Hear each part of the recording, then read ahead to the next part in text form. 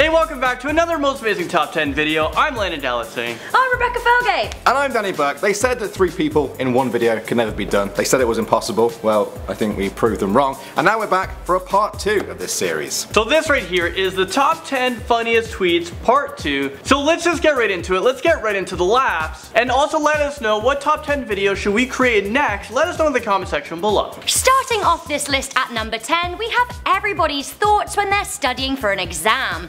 Tweeted out by Patrick Mark Ryan, this tweeter pretty much sums up the modern dilemma as they write, I'm done learning new things until someone can prove that we won't have Google forever. I feel you Patrick. Although I guess it's good to know that um, if the power goes out, you'll still have some knowledge. But yay for Google. Alright, at number 9, Josh shares a conversation with his wife. Wife, why is your back all scratched up? Flashback to me chasing a raccoon after she told me to leave it alone. Me, I'm having an affair. Yeah, I relate to this kind of stubbornness in my life. If my girlfriend ever tells me to not do something because it will definitely go wrong, and I do it, and it goes wrong, I kind of struggle to admit that I shouldn't have done it. It's just called being stubborn. But remember guys, honesty is the best policy. If you mess up, just admit that you shouldn't have chased a raccoon until it started to attack you.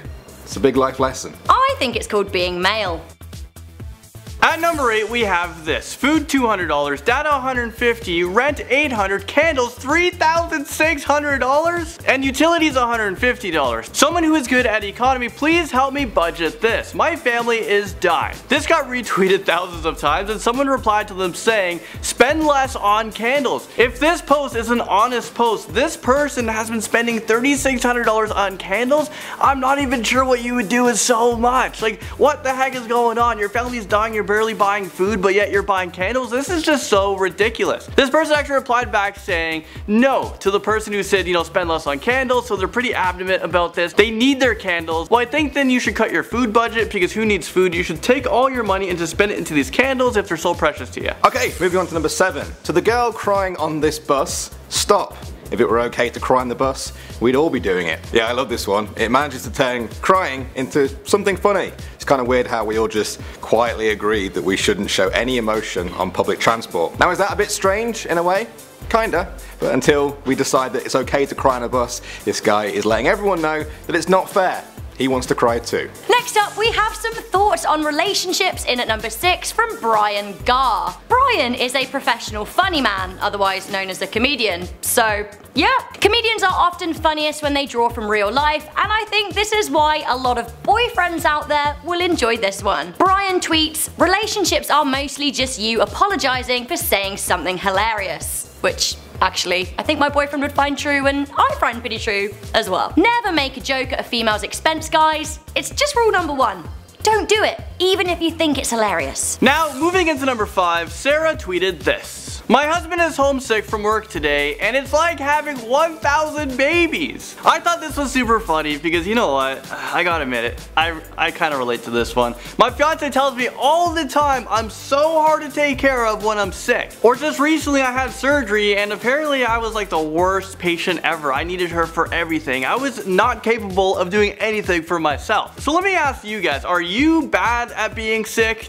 I don't know, do we demand too much? I just thought this one was a really funny tweet because a lot of people can relate to it. Danny, are you a good sick person? I'm a sick sick person, yeah.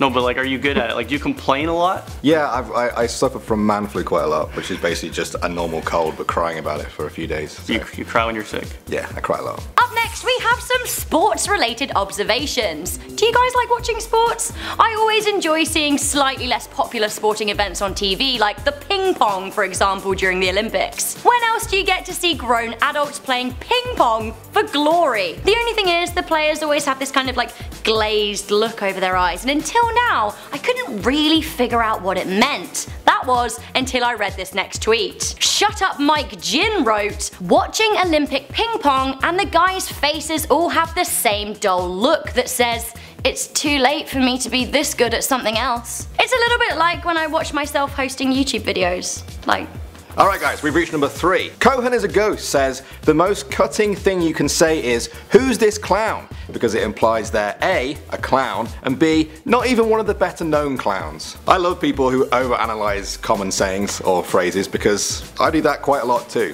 Too much probably. They made a pretty harmless insult into a pretty brutal one, but I'm kinda wondering, who are the best known clowns? Is that a thing? I know Krusty, but uh, apart from that, I'm probably going to have to ask who this clown is quite a lot. Now at number two, we have this. This tweet reads, The new option on Facebook looks like the life cycle of every relationship I've ever had. So it starts off with the thumbs up emotion, which is, you know, a good feeling, and then you can see the heart. So this is when Mulaney is in love, and then she becomes super happy about it. But then things get hard, and Mulaney then becomes shocked, and then she starts to cry, and then finally, she's very upset. But yeah, I guess this really makes sense. It's a common cycle in relationships. Okay, finally, we have a YouTube related tweet to finish things off. At Liz Hackett writes, YouTube is great when you want to learn that anyone can be famous, but most people shouldn't be.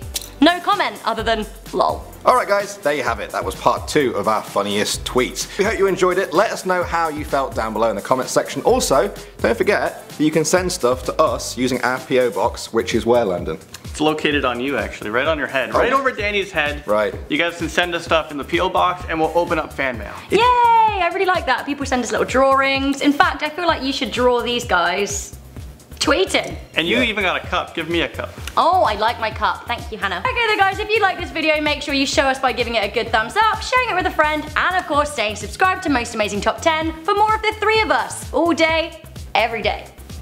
Twice a day, in fact. Yeah. Alright, see you in a bit. Bye.